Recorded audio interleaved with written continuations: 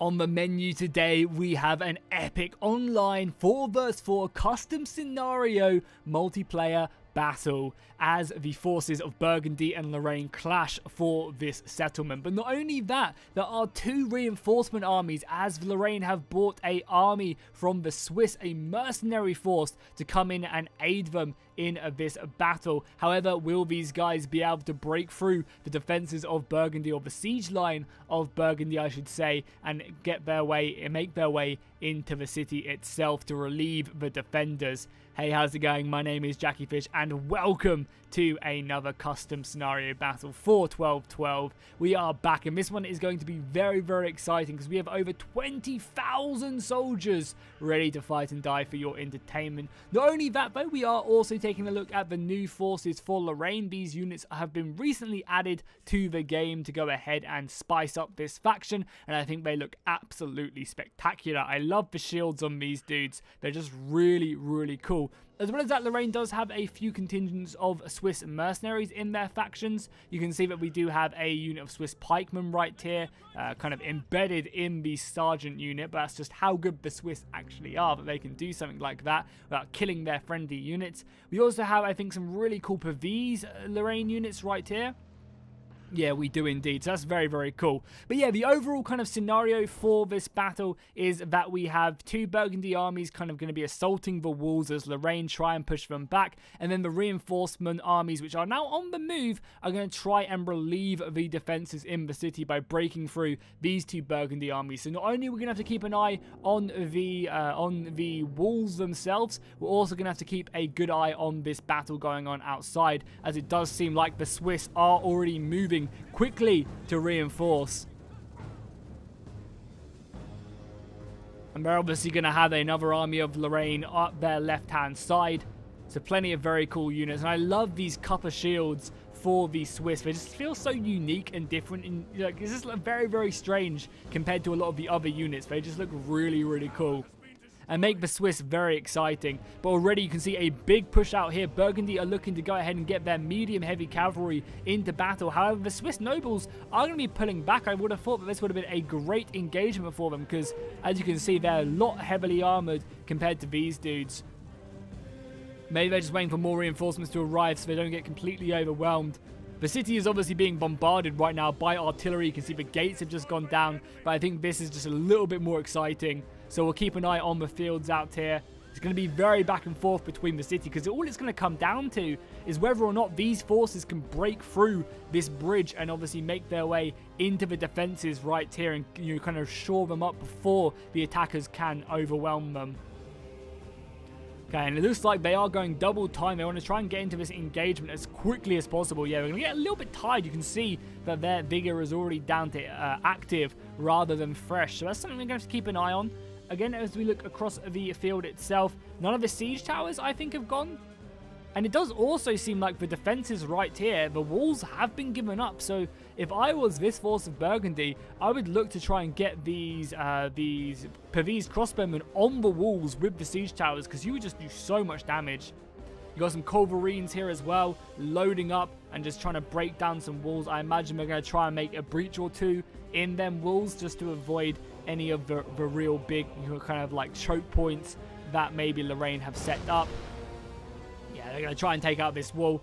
Again, it's uh, the, the Culverine, Culverine takes a bit of damage to take these. Okay, maybe not. I take that back. I was going to say, takes a couple volleys, but there we go. One volley putting it to 68% is pretty goddamn crazy. You can see that the Swiss have called for reinforcements right here. Some of the, Lorrainian Ritter are going to be forming up and all. These guys are great. I love the colorful lancers. Very, very nice. And I love the, uh, yeah, the different colors of the overcoat for the horse as well. This is one of the really nice new units. I, I dig this a ton. So definitely hats off to Fox, who I think is playing in this battle, who created these guys. And obviously everyone else who helped him out there as well. Seems like the Warhorses, though, are on the move yeah, I would really think that now that this, yeah, as you can see, like, these horses have been pretty segregated from the main army. If I was uh, the Swiss, maybe going in for this would be good because you kind of have the quality advantage. Like, granted, these guys are heavy shot cavalry. I mean, yeah, I guess these are a little bit more heavily armored. But, you you know, you just shovel your cavalry over to his flank and try and deal with this. Because a lot of the Burgundary force is just going to be holding up around this bridge, trying to push back anyone who is attacking. Have any of the siege towers decided to start moving yet? Not quite. Again, just the constant bombardment of the city is going to go out fast. I mean, do they need any more rams? I don't think they do, but I guess it's, uh, yeah, fine for now. I also really love the look of these guys as well right here. They look really, really nice. And also, we're going to be getting a little bit of uh, a little bit of choppiness here and there. I'm currently running this at you know 59 to 60 FPS, so the FPS should be all good. But the, the engine kind of struggles around 22,000 men on my computer. But I think that's plenty. You know, it's understandable that something like that will happen. Does seem like though the cavalry is going to try and cut off any retreat here. I mean, this is not a bad idea. If you can keep this cavalry out here, it'd be a very, very effective way at pushing them back. And I think we're going to get the first volley going off right now as well. Also, sorry, I just think I need to turn up the sound a little bit on the effects. They just seem a little bit quiet. So let's turn them up just a little bit and maybe the music down just a tad. Because I can barely hear the troops speaking and stuff, which is yeah, we want to be able to hear the, uh, the, the, swords clashing and the, the arrows firing. Why the hell are these guys not firing? I guess they're waiting until they can see the whites of their eyes. And there we go, the first volley going out, letting them come in. But these big copper shields will be able to hold them out. And the front line is ready to fight. The Swiss are going to earn their gold in this battle as they go flying against the lines of Burgundy. More reinforcements. The crossbows are quickly reforming up. And this will be an interesting fight to see who does win this one because I think both sides have a very, very strong advantage. So yeah, I mean, but both of these units are very, very elite, so they're going to be fighting for a while. But as you can see, they've gone ahead and basically assaulted down the entire battle line. And something they could have done is they could have tried to just weaken these guys down. Like, maybe not the Pavese. The Pavese are going to hold for a long, long time. But something they definitely could have done is maybe try and focus down these swordsmen with the crossbows. But again, I think the crossbows are going to be trying to rattle in on any of the back line, maybe even try and kill some of the uh, Burgundy Pavese. But again, you know, Pavese are hard to kill. It seems like they're putting in a lot of crossbow bolts in on these guys to break them through. And you can see, obviously, the allied lines as well. If we take a nice little zoom out picture, you can see the full-on lines. As Lorraine are in the blue right here, and the Swiss are the yellow, because that's the player who sent it in. Cavalry are still backing off, but again, like I really feel like they should try and take this cavalry fight. Even if they are a bit outnumbered, their infantry is just so close to reinforce. But I think it'd be a really, really good fight. Also, there's two medium cavalrymen here. But obviously, you know, keeping your cavalry safe is hella important. So they obviously just don't want to give that uh, advantage up. Also, guys, I apologize for how bright this battle is. Like, it's just really, really bright. And that's normally tends to be the fact when we've got snow. Hopefully, it'll come out pretty nicely. And I think my computer uh, is on a higher brightness than what I'm recording on actually as well.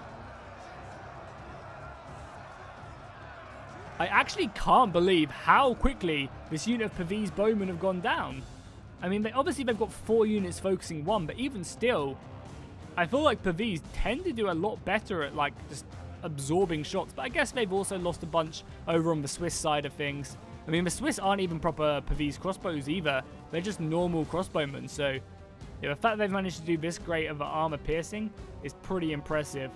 I think the city is still being bombarded as well.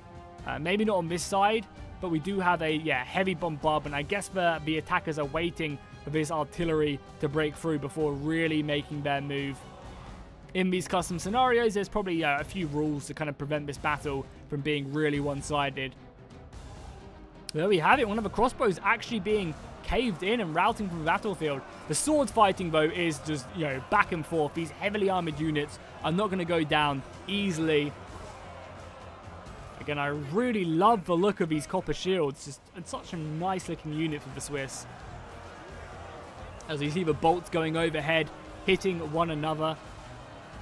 Also, guys, if you're looking for more people to play with on mods like this, like Rise of Mordor 1212, be sure to join my Discord. The link will be down below in the description. There's always guys looking for battles there. all you have to do is quickly reply and say, hey, yeah, I'll play. What, what do you want to do? Get a Jump in one of the, the Discord chats and you're away.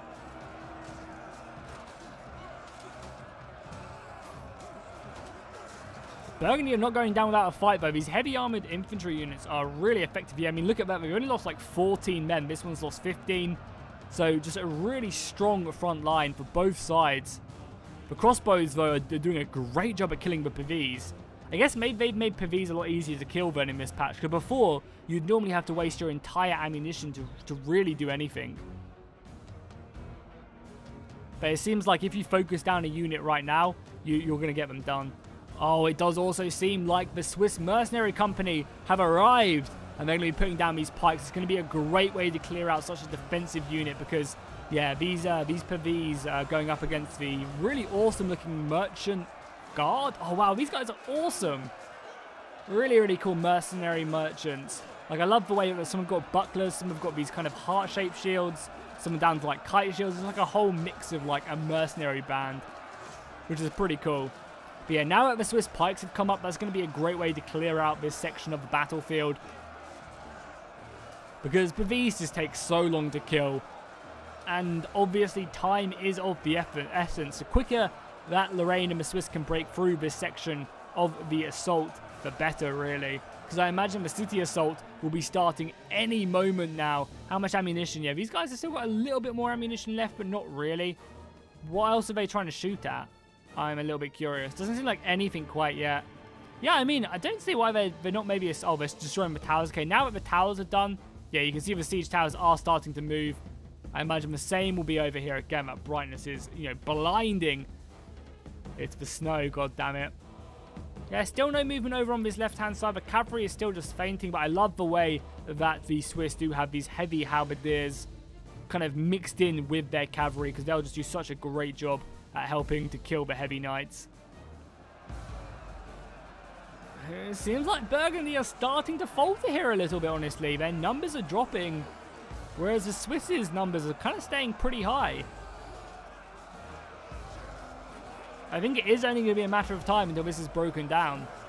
And there you go, the first break right there with the support of the pikes. And that's going to open up a big gap. You can see Swordsman immediately going round and it also is a really smart idea here by the Swiss player to throw forward his copper shields immediately so that the gap stays open. And it's really up to Burgundy to commit this unit of pikemen ASAP because as you can see, this unit of mercenaries who are probably a little bit faster than your average infantry unit are immediately trying to go through that gap.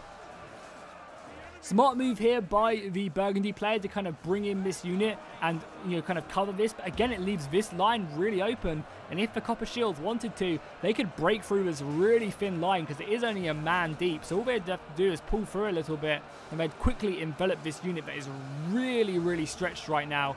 And as you can see, their morale is not great. However, the Copper Shields they're fighting also don't have great vigor either. They are exhausted already, which is never a good sign. Know, a nice little pike clash right here as well as the Swiss go up against the pikemen of Burgundy. I mean, we all know that the the Swiss pikemen will probably definitely win this battle. Because I think, yeah, they have heavy pikemen, whereas these guys are just medium pikemen. So they're a bit more heavily armored. You can see they've kind of got, like, I assume, like a heavier outer coat of chainmail. And a big, big break in the center right now as more and more forces come forward. This is a perfect gap to come down. But it does seem like the Burgundy uh, army is actually going to be making its way around the side. And looking to hit these guys in the back. Try and break them. Yeah, because, I mean, they are exhausted. And that does end up playing a role very, very quickly. But it does also leave them pretty vulnerable to any cavalry charges that also decide to come in. I mean, it's kind of crazy to see Pavisman outflanking but it's definitely something they've decided.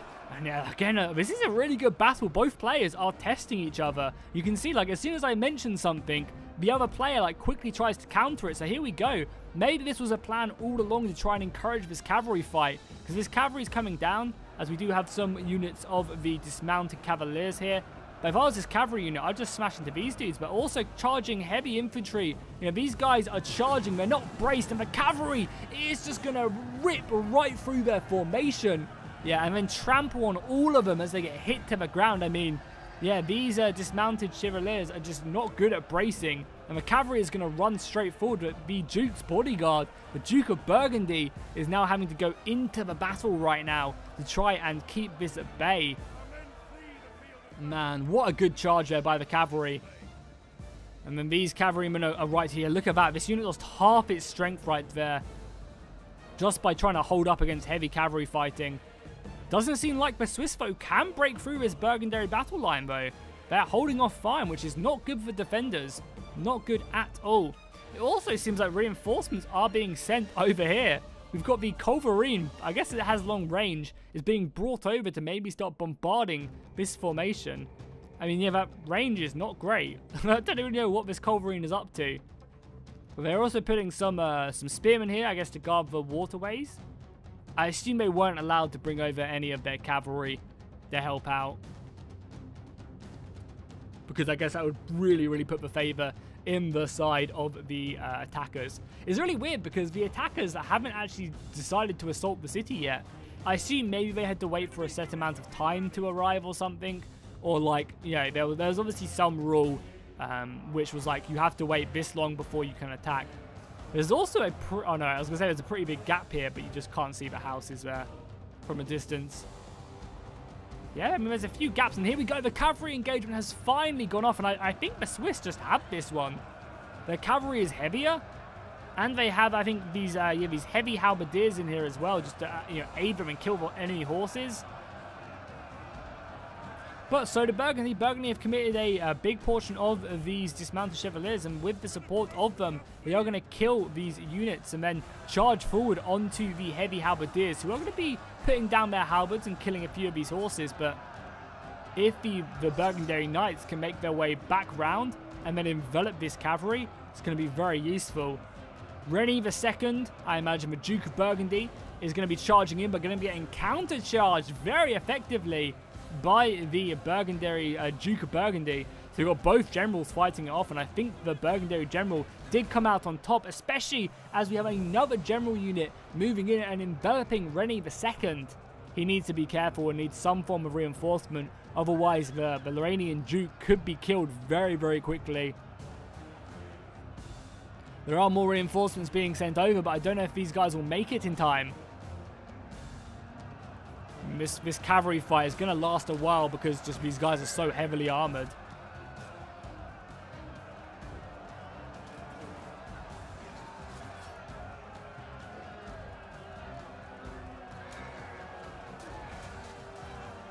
As well as that, the city siege has now begun as the forces are thrown forward. The crossbowmen are brought up. I guess they're going to start harassing these lines. But again, they're going to be shooting at Pavese mainly, probably. And the Pavese aren't going to take like any damage. I think they have close to 100% missile block.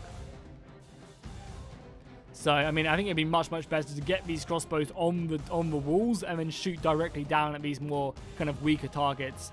Are both sides moving? Yeah, every side is moving. And there we go. The Duke has been killed. I mean, yeah, it was a very, very hard, you know, position for him. The heavy billmen have uh, turned up now. The heavy pikemen have turned up, but it's a little bit too late now. We're going to quickly try and get involved in this battle somewhere. The crossbows are going out as well, killing a large amount of these generals' bodyguards. If these crossbows can keep on shooting, they're going to kill this, this bodyguard very, very quickly. As well as that, the central battle line seems like it's kind of breaking. Even these crossbows are having to be thrown into the sword fighting right now to keep the to keep the line steady.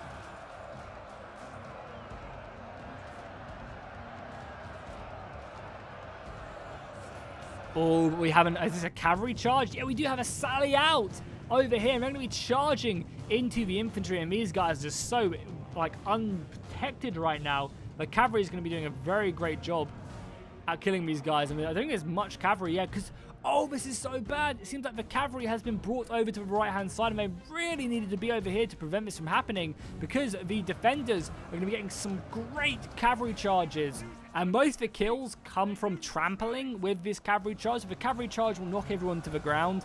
And then the horses, when they run away afterwards, will be the dudes getting all the kills because they'll trample on the dudes kind of stuck on the ground before they can get back up. Well, this is great by the defenders because it's buying their reinforcements time, right? It's buying them time. And you can see the generals are being brought back right here, you know? He's being thrown into tower range, but it's either tower range or crossbow range. And there's nowhere really for him to go. Whatsoever. As the infantry is breaking through on every corner now, yeah, the central battle line is completely broken. The Pavese are putting up a good fight, but they are struggling. More reinforcements being sent in. And even with the loss of the general, it seems like the quality of Lorraine and the Swiss are winning the day. Just committing cavalry after cavalryman with the help of the extra infantry is just proving too much for the forces of Burgundy. So it does mean we're going to have to, you know, kind of get a, a move on right now. As these siege towers are going to be up the walls and, you know, pretty quickly they're going to be able to get crossbows on. Because the crossbows have such a good position right here. Because they can normally hit anything defending this choke point from this position. And, you know, what tends to happen is that these crossbows are, like, up here, so they can't quite clip these dudes. So it's a perfect position to have crossbows up here. It really, really is. We do have defenders, though, scattering around the wall. It seems like the crossbows are falling back. And the walls again are going to be taken pretty undefended. Pretty interesting but neither player is valuing, like, neither of the defending players are valuing these walls whatsoever. That could come back to really hurt them if the crossbows can get up here. Do a little medieval 2 strategy, and it is deadly. We do see, though, that the second cavalry, of the second uh, attacker with the siege equipment has also brought over his cavalry now to reinforce this. And I mean, it's not a bad trade, yet it does delay your forces, but just having soldiers here, you know, killing the enemy cavalry, oh, it's going to be such a brutal charge. This line is way too thin and they're counter-charging. You need to be braced against these cavalry charges. You know, when you find out segregated units like this, uh, like left alone on the battlefield, not not well supported, the cavalry is just going to, you know, run them down. There is nowhere for them to really run now, though. It's a pretty cool battle as well, right? Pretty cool goddamn battle. We zoom in like that. I mean, look at that. That's, uh, that's not bad, right? That is not bad. Especially if we get a nice, like a nice little zoom in on one of these horsemen. As they fight bravely. For honor and glory. It looks like some infantry are actually routing from the field. More gates going down. Are we getting any infantry move through these breaches yet? No, just like what we do. We do have some crossbows brought up here. My crossbows, yeah, it seems like they've really reduced the shield defense of Pavese. Maybe they've just made the crossbows a lot more effective with heavy shot. I, I think this is kind of a nice little trade-off though. Like, I like this. I like that they've done it. Beforehand, Pavese just seems to defend way too effectively. Like, granted, they should be super tanky, but it made crossbows just end up wasting their ammunition without really doing much. Like what would, would end up happening is both sides just waste their crossbow missile, like killing each other's crossbows, and that would be it. We're also seeing a massive breakout here. Wow, this is not looking good for Burgundy. You can already see the balance of power starting to shift, and now they can start moving in the rest of their forces. Yeah, one of the enemy generals is dead, probably out here. Yeah, out here. The crossbows are moving in. Now, the one thing that the attackers do have going for them is that the reinforcements have no missiles. Like, they have a couple shots here and there, but nothing great. And I think with his last breath, the, uh, the Duke's bodyguard is going to charge into these crossbows just to kill as many as possible. Bit of friendly fire going off as well between the Swiss. The Swiss just see horsemen and they want to try and take them down. I mean, look at that battlefield, man. That is, uh, that is something, as you just see the Swiss marching forward. Very, very cool stuff, man. I love 12-12. It's just such a great atmosphere of a game. These crossbows are being brought up. But yeah, if you get these guns on the walls, oh my god, the handgunners will just shred for anything. And all of Lorraine's cavalry has been killed. So, I mean, that tactic worked, right? It was a delay tactic. It was mainly here just to slow up the attackers so their reinforcements could get in. But now they've broken through this. Lorraine's lost all their cavalry inside the city. The walls are being taken. Crossbows are being brought up onto the walls. You can see right here. The crossbows are going to be making their way up on these walls very, very soon. Seems like they're a little glitched out, but I'm sure they'll sort themselves out soon. Hopefully this isn't going to be a major problem. Yeah, there you go. They're now moving upside into the wall. So the crossbows is going to get up here and basically harass all of these guys. However, it does seem like the Lorrainian forces are not going to be stupid. They're also going to be putting their crossbows to basically harass them as soon as they get up here. Because not only does it give, like, the attackers a great vision, you're also putting undefended units up here. Like, both sides can shoot directly at the opponent. So, you know, these guys are going to be doing just as much damage. Because it's not like there's any defenses like on the back of this wall. You know, like covering the rear whatsoever. I mean, there probably would be something here, like, realistically, but right now there is not. This cannon as well still somehow managed to get a shot off. As you can see there, a lot of these crossbows are already dying, so maybe it would have been a better idea to try and clear these guys out, but I imagine it's going to be very hard to do so. We've got some swordsmen up on these Pavese crossbows. Yeah, wow. The attackers are being a bit too gun-ho right now. They need to set up their defense, but they, are fighting against the clock. With them reinforcements making their way in. Along the bridge any seconds now. And when they, when they arrive, I think there is just no hope for the attackers whatsoever. I mean, it's already looking pretty bleak, but they are going to be bravely charging in. Just the quality of the Swiss really paying dividends in this battle. Really, really paying dividends. And again, if we take a look at the overall battlefield, we can see, you know, they're making good, pro you know, good progress right here. But look at all these units right there. There's still so many. You know, they're, they're depleted, but there's a lot of heavy units in the Lorraine army. The Swiss have paid with their lives for sure. I think the Swiss have taken the biggest pounding. They're just going to, you know, reform up into marching column and then make their way inside the city. Also means that these units can also move elsewhere. Again, if we take a look at here, you can see the crossbows are scattering the walls. But even right here, you know, they've got three units against one, and the crossbows coming in just killing them bit by bit. Take a look at the numbers here. Oh my god, that's been a slaughter. I can't believe that. Just how quickly that flipped.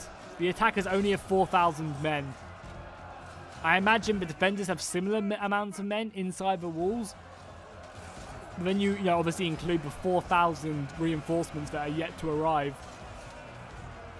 I mean, that's looking very, very scary. You still have plenty of men trying to filter in. Getting their pikemen over the walls. I mean, they're doing a good job here, but they are fighting some heavy Lorrainian knights, dismounted knights with, you know, war axes and hammers. Yeah, perfect equipment to really deal with Pavese, which is such a heavily armored unit. You got some cavalry moving through the city as well. God, they still have horse left. Oh my god. The Waffen Connecti? Uh, yeah, I think I pronounced that perfectly. And here we go. Look how awesome this is. They're like, yeah, whatever. We got some time to waste. We'll march in when we want to march in. You know? Reform the line! That's what I love to see. Got pikemen formed up. This is beautiful. Cavalry in the back. The Swiss are reforming up as well. What's left of the Swiss definitely a legendary unit. And the crossbows have just been so ineffective. They've really been hammered up on the walls. I guess they really needed to make a breach on this side. Because, yeah, I guess I, like putting your crossbows on the walls is great. But it seems like they are really, really struggling. And there's even some culverines set up here as well, which is just, you know, perfectly. I mean, they're, they're facing down, which probably isn't the best. But these ones are a bit more effective. Again, just focusing. I mean, destroying your own walls is also a valid strategy as well. But yeah, the crossbows are breaking, and I think that's going to be all she wrote. I mean, still, we're going to still stick around with this battle, but because this force is doing a pretty good job on the right-hand side. Yeah, nice outflank right here, moving the heavy knights around the back of the Pavese. Pretty good job. And the crossbows here on this side are having a much greater effect. Look at that. They've decimated these dudes down here. Your gunners up here as well. Don't know if the gunners can shoot over the top. If they can, again, they're going to be doing a pretty nice job. There is some artillery over here, though.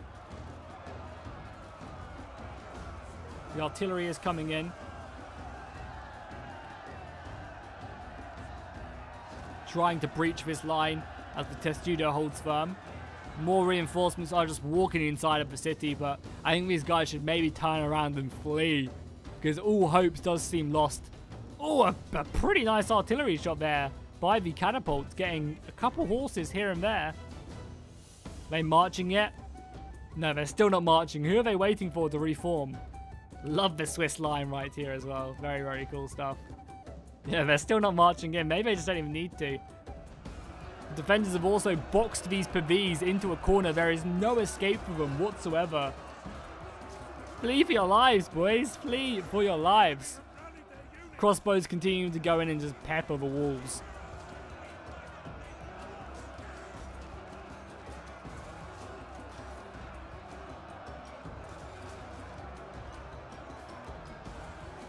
The poor men of Burgundy. I guess they, there was just no messenger coming saying that they lost, so they assumed they won the battle out there. Otherwise, I doubt these Burgundy units would be so gung-ho. They needed to take the city before this uh, this battle happened, and they, they really, really struggled to do so. They, they spent way too much time on the bombardment phase. Lorraine are already, already starting to put some men back on the walls now to push Burgundy back.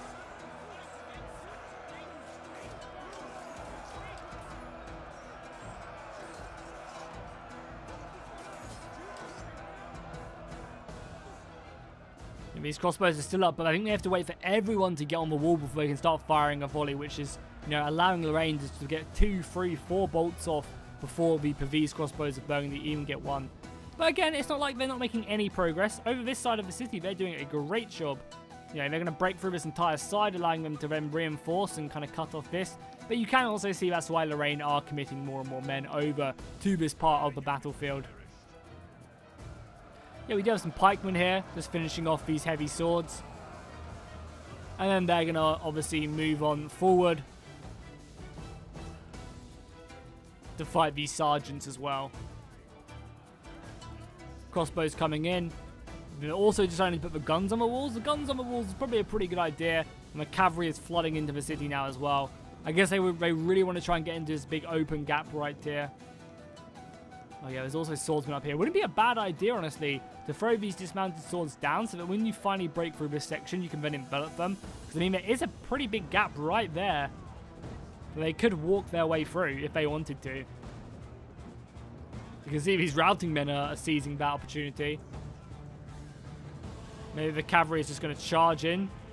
Just try and break through. I mean, these, these dudes are braced, but they're, they're only four ranks deep, so yeah, they kind of seem they, they held him a centre, but where their lines are a lot, little bit less deep, the Knights did break through. And I mean, these aren't late troops as well. We, well, these are late troops, but these aren't high period units, which are the 16th century. Which are like the best ones. So they're probably going to have some success here as they continue to break through. Oh, and here we go. Victorious men are on the move. I mean, just look at this, man. They're like rallying. They know they've done a good job.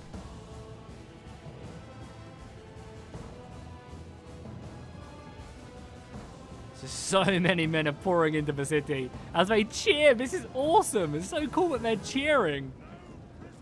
They know that victory is at hand. And they're saying cheer you misery lot. They're coming into the city victorious. And you cannot fault that.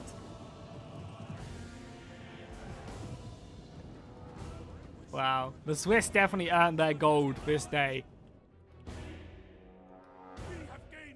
Very, very impressive stuff.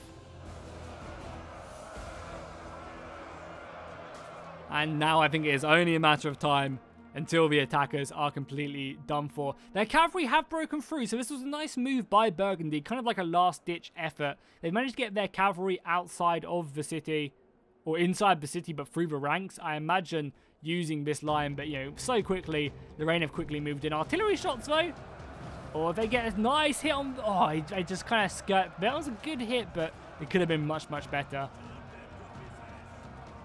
Now, if they could have just, you know, got one direct hit in the central line here. My god, that would have been absolutely epic. Let's see if the next shot is going to find its target. There's crossbows going in as well. The artillery does seem to be finding its mark bit by bit. And the pikes are pushing them back. I just want to see like a direct missile here. I think it'd be so nice. Is there any more ammunition left? Yeah, but oh, they're still shooting. Oh, I've got one more shot left on them. Is only one artillery. Oh, it's two. It's two. Are we going to follow it in? Maybe it can't even shoot. But yeah, that's going to be pretty much all she wrote for the battle, especially because it's so funny that these guys are just marching inside of the city. So I skipped ahead just to clear out, you know, it was pretty obvious what the outcome of this battle was going to be. Burgundy did put up a pretty good fight, however, they couldn't break through any of the defense. They definitely got a few more kills towards the end, but as you can see, the Swiss are now just making their way into the city centre to claim victory, and that was the battle. Definitely a massive GG to both, uh, all eight players, because that was definitely one epic showdown for sure. Um, and it was really cool seeing the reinforcements come in and try their best. Let's take a look at the kills themselves. I want to see who really racked up the most kills. So let's start off with the Swiss mercenaries. We can see that the men at arms, over 200 kills, is pretty impressive. And the crossbows doing a very, very nice job. The copper shields doing okay, definitely holding the line. Yeah, but the crossbows were just, yeah, out of this world. Over on one of the Loranian forces, we can see that there again, their crossbows doing really good, and the knights pretty impressive. Um, over on this side, I really love these uh, units right here. They were very, very cool to see.